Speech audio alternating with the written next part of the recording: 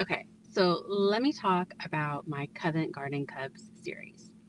Um, where did I get the idea for this series? If you've watched any of my other videos, you know that I love to write about spies. And this is kind of because I am not so much of a character driven writer. I am more of like a plot driven writer. So I need things that to happen to um, move the story along and to um, show different aspects and personalities.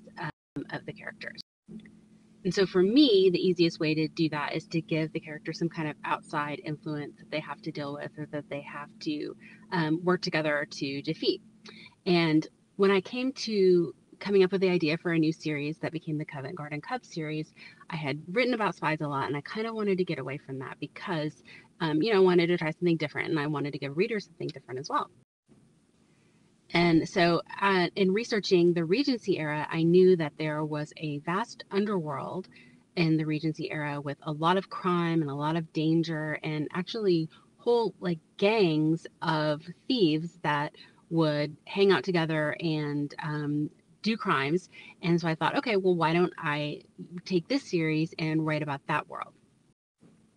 So the first book in that series, Earls Just Want to Have Fun, the heroine is Marlowe, and she is actually part of a, a gang of thieves. And um,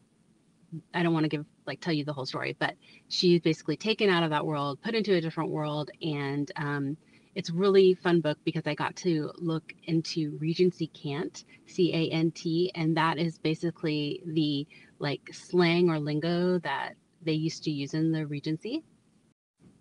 and I really had fun taking that and incorporating it into the book and um, you know just showing how even back in the 1800s they had their own slang. And then for the other books in the series, The Rogue You Know and I Kissed a Rogue, I had took the main family from the first book and I kind of stuck with them and branched out into some of the other characters and also kept incorporating the um, sort of juxtaposition between the richest of the rich and the poorest of the poor and that was really fun for that that series